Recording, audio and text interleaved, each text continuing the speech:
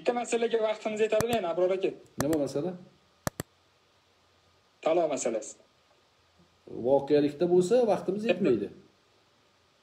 Voqelikdagi taloq bo'lsa. Lekin mavzu bu voqelikda emas. Ho'p voqelikda emas. Umar roziyallohu anhuni gaplari bo'yicha. Ho'p mani og'aynilarim orasida endi vahobiylar ham borda o'shalar bilan bahs munozara bo'ladi doim shu talo masalasida uch taloni aytdikki umar roziyallohu anhuni davrlaridan boshlab uch talo bitta e, uch taloga o'tadigan hisoblangan to'g'rimi? И to'rttala mushtahid imomlar ham bu gapni olishgan. Ixtilof qilishmagan. Manga aytayotgani vahobiyni aytayotgani shu bo'lyaptiki umar roziyallohu anhu davrlarida xotiniga maynochiligi ham uch taloq berorganligi uchun qo'rqitish ma'nosida uch taloq uch taloqqa o'tadi degan gapni gapirgandi otdilar bir lafz bilan. Qo'rqitish masalasida deyaptilar manga misol qilib keltiryaptiki mana shayx rahimulloh hazratam sigaret cheksa tog'orat ketadimi degan savolga shu sigaretini tashlasin degan ma'noda man tog'orat ketadi deb aytaman degan narsalarni qiyos qilib keltiryapti. Umar roziyallohu anhuni bu bergan anaqalarga nima deydi chiqargan hukmlariga. Hmm. Hozir bemalol xotiniga uch taloq beradimi ming taloq beradimi e bir taloq tushadi deb bemalol yashab yurgan borda og'aynilarim orasida shuni ozgina muxtasar tushuntirib o'tishdi Xo'p, sal uzunroq masala, lekin bir narsani aytib qo'yaylik. E,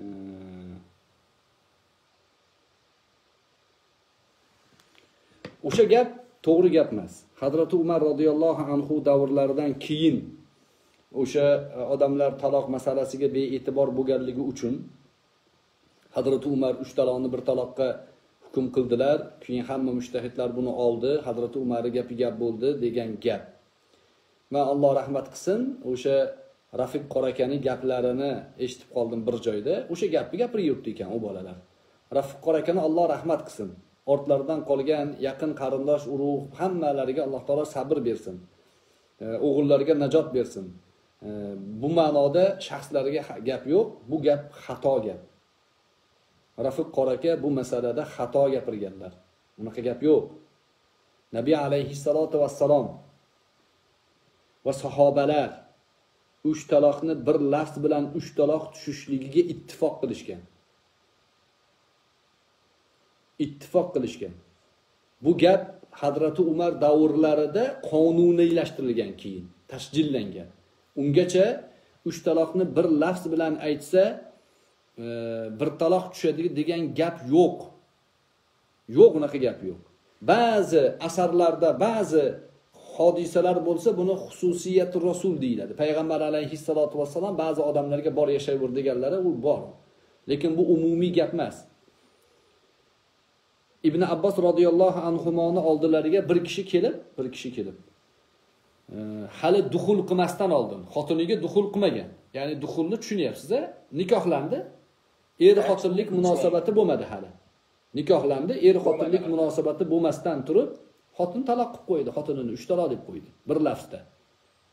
Shunda ibn abbos abu hurayraga qarab aytganlar endi javob ber deganlar. Nimaga unaqa deganlar? Ulamolar aytadiki uch taloq bir lafz bilan uch taloq tushishligida ixtilof yo'q edi sahobalar ichida. Yuz taloq desa uch taloq tushadi qolgan to'qson yettitasiga qiyomatda javob beradi. Bunda ixtilof yo'q edi. Nimaga ibn abbos abu hurayraga roziyallohu anhular endi javob ber deyaptilar. Chunki to o'sha kungacha mana shu savol ibn abbosga berilgunga qadar faqat duxuldan keyin uch taloqni gapirishardi. Tushundingizmi? Uch taloq duxul qilgandan keyin kelib xotinimni uch taloq qilib qo'ydim desa uch taloq tushibdi derdilar. Lekin bu duxuldan oldin duxuldan oldin bo'ldi. Bir marta yangi voqea bo'ldi. O'shaning uchun kelib ibn abbosdan so'raganda man bilmayman dedi. Abu hurayraga san javob ber endi nima qilamiz buni dedi. Abu hurayra roziyallohu anhu rivoyatni keltirdi. Man eshitganman yoki asarni keltirdi uch taloq tushadi dedi. Bu masala hadrati umar davrlarida avval masalan avval uch taloqni bir taloq so'ralgan keyin hadrati umar kelgandan keyin u uch taloqqa aylanib ketgan. Bu umarni o'zini gapi degan gap noto'g'ri. Hadrati umar buni siyosiy ma'noda tasjil qildi yozdirtirdi. Bundan keyin dedi javob berasan. Ha, qaysi biring uch taloqni bir taloq desang e, javob berasan degan shaklda. Man biroz qo'polroq tushuntiryapman to'g'ri tushunishi uchun. Uch taloq bir taloqqa o'tmaydi hech qanaqasiga. Shuning uchun to'rtta mazhab ittifoq qilgan bunda. Shuning uchun. Endi u gapni e, alloh rahmat qilsin rafiq qor akani aytayotgan gaplarini bir uchi taloq masalalarida taloq masalalarida.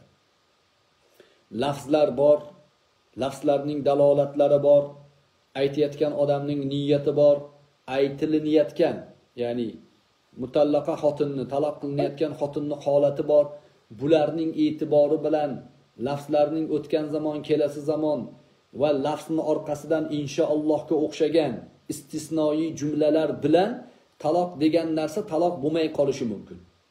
Tushunyapsizmi? Va mana shu masalalarda ibn taymiya rahimaulloh yangi gapni boshlaganlar. Yetti asrdan keyin. Yetti asr o'tdi. Sahobalar davri payg'ambar alayhissalom davrlari sahobalar davri tobeinlar davri tabaa tobeinlar davri. Hamma bir ovozdan uch taloni bir lafz bilan uch taloq degan. Bitta ishoq ibn rohavayhdan rivoyat bor u kishi uch taloqni bir taloq degan. Lekin u bitta gap. Hammani gapi emas. Keyin yetti asr o'tgandan keyin ibn taymiya rahimaulloh aytdilar. Attalaqu marratan dedilar.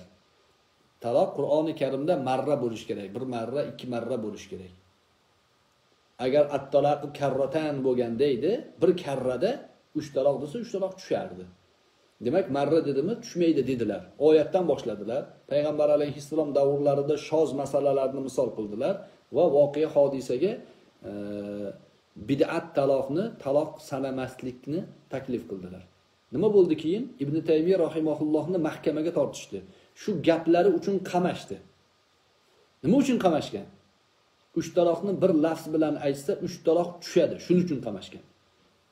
U paytdagi ulamolar ibn taymiyadan ustun ulamolar bor edi. Ibn taymiyani e, mahkama qilib bo'ynilariga o'sha qilayotgan ayblarini xato ekanligini tushuntirib beradigan ulamolar bor edi. O'sha ulamolar buni tushuntirdi. Va o'sha uch taloq masalasini bir taloqqa o'tadi deganlari uchun qamalgan ibn taymiya. Man endi shuni ko'rib kuzatib yuribman. Ko'p odamlar uch taloqni bir lafz bilan e, aytsa bir taloq tushadi deb yengil yelpi olib yurgan siz endi vahobiy deyapsiz salafiy deyapsiz endi ularni.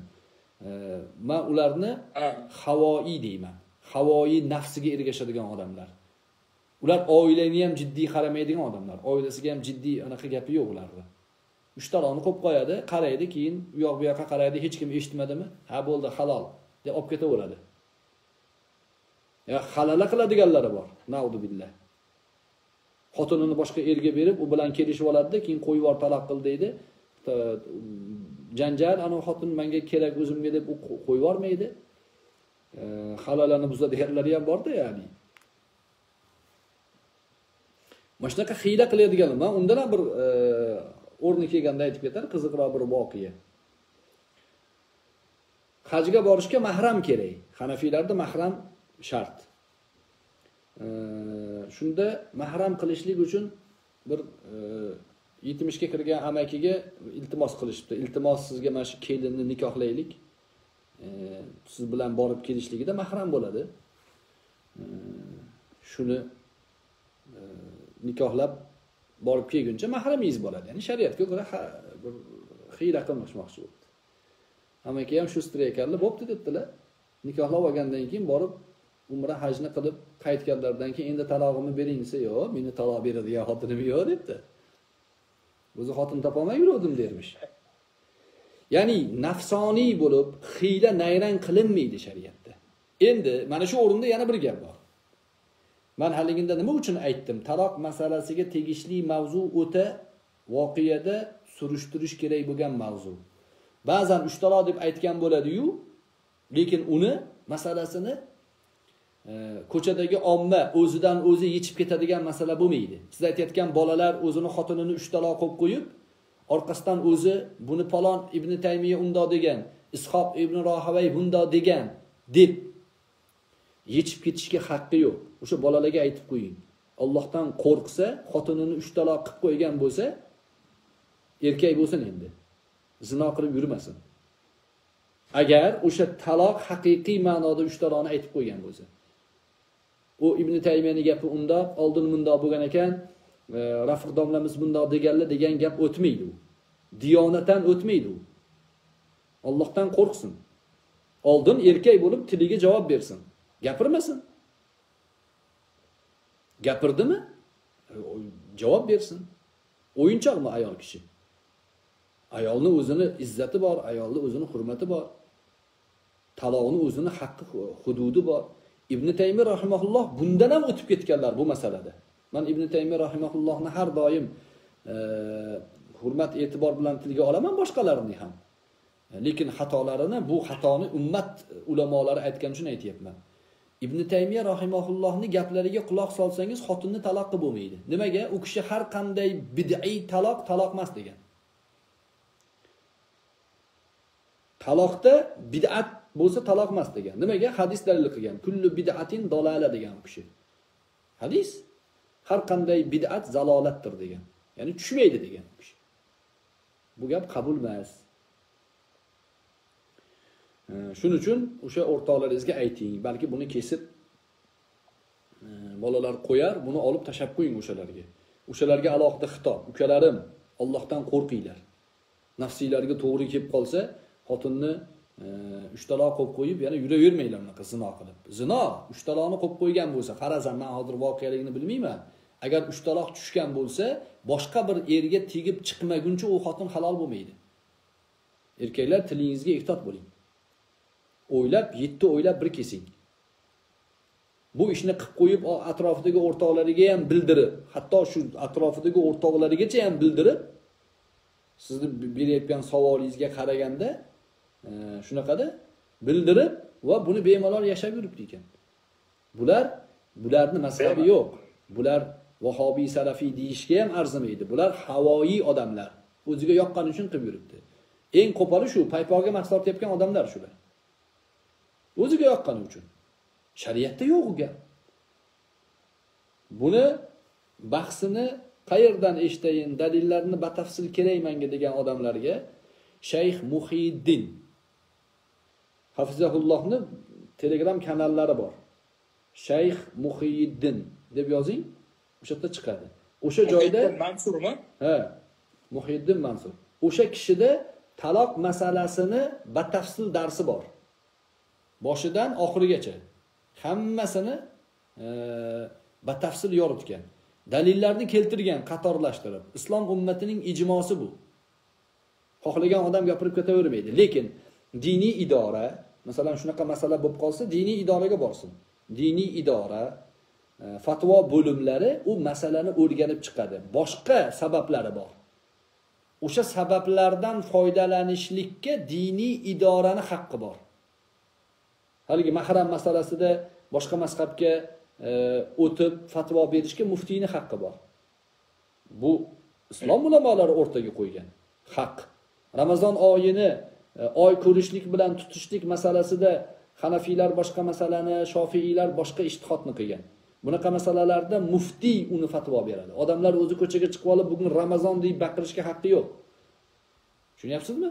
Mana shu xuddi shu masalada ham e, diniy idoradagi fatvo bo'limi ulamolar kengashiga murojaat qiladi. Ular keyin yechsa masalani jim bo'ladi gapirmaydi boshqa yoqqa aytmaydi. Nimaga? Masalani yechimi bor ya'ni o'sha joyda. Yechimi borki masalani yechib berishgan. Ishqiboz emas u diniy idorada o'tirgan odamlar ham. Ular ham shariatga qarab yechadi. Yechimga yo'l bo'lmasa aytadi bunga yo'l yo'q deydi ketaver deydi boshqa erga tegmaguncha ololmaysan deydi. Shunaqangi masalalarda idoraga qaraydi bu bolalar qilayotgan ish o'sha ibn taymiya rohimaullohning qavli. Eng zaif qavl hisoblansa ham bular bu bolalarning qilib yurgan ishi unga tushmaydi. Nimaga? Ular o'ziga o'zi so'rab olyapti. Qanaqa qilib o'ziga o'zi o'zi qilgan jinoyatini o'zi jazolaydi qanaqa qilib? Qayerda bor? Ajoyib u. O'g'ri o'g'irlik qilibdida o'zini o'zi jinoyat man jazoladim o'zimni meni qoziga olib borma deyapti. Qanaqa bo'ladi u? Bo'lmaydi. Hech qanaqasiga bo'lmaydi. U bolalarni ko'zini ochib qo'yish kerak. Ho'p abror aka? Labbay mana bir kishi xotiniga taloqsan dedi. I taloqsan dedi ikki marta aytdi ikki taloq tushadimi shunda bir taloq tushadimi iddasini ichida ikki taloq tushadi birinchisida taloqsan deganda u уже nomahram degani bu bo'ldi eriga. Nomahram bo'lmaydida hali idda bor. O'zida hali idda borda. Iddaga qaraydi. E, iddani idda idda chiqib ketgandan keyin yana bitta taloqsa tushmas edi bir taloqsan dedi yana ikkita haqqi turibdi yana iddasi turibdi buni. Iddani ichida buni xotini hali. Qaytdim desa qaytib ola oladi taloqdan hali idda tugamasdan yana taloqsa yana tushadi. Bu masalasi bu. Idda chiqmasdan oldin qaytdim desa qaytadimi? Ha? Idda chiqmasdan oldin bir taloqqa qaytdim desa qaytadi. Qayta oladi taloq rajiy u. Idda chiqib ketsa boyinga aylanadi. Boyinga aylangandan keyin taloq tushmaydi tushunarlimi? Ha bo'yinga aylansa to- taloq tushunarli tushunarli. Ustoz salomat bo'ling. Rahmat tushunarli savollar rahmat. Salomat bo'ling